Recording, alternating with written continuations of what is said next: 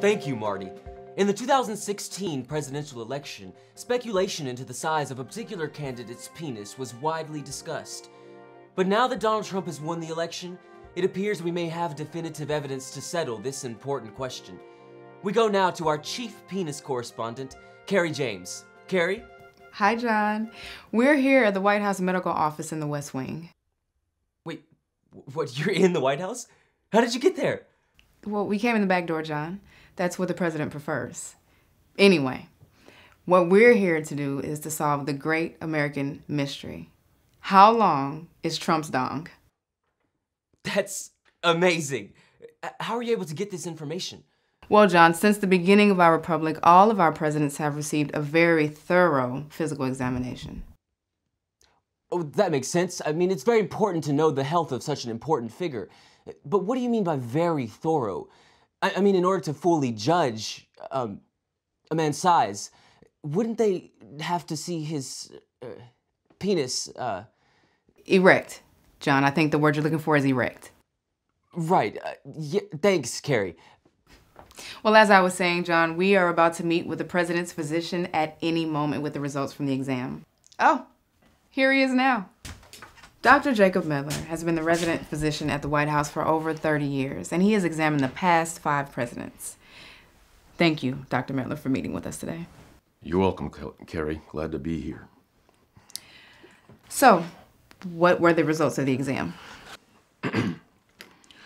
President Trump is in the most amazing health of any president in the history of our great country.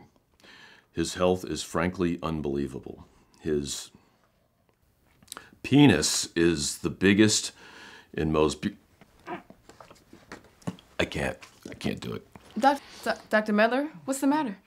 I mean, can you can you tell us how big the president's penis is? How did you measure it?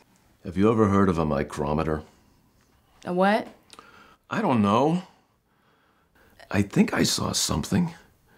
I guess it was a penis. Can you give us the measurements? Less than an inch.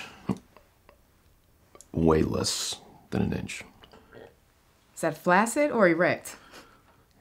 Does it matter? Good God.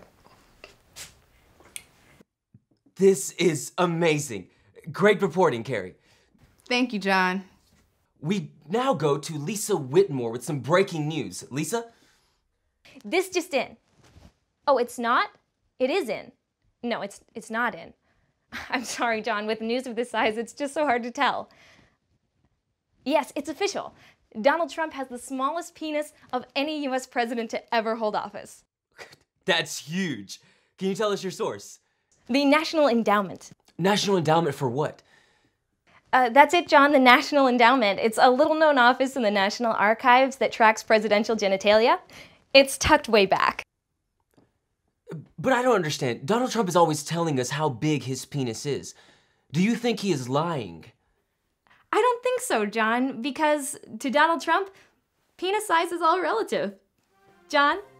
Thank you, Lisa. And we'll be right back. If I don't get deported.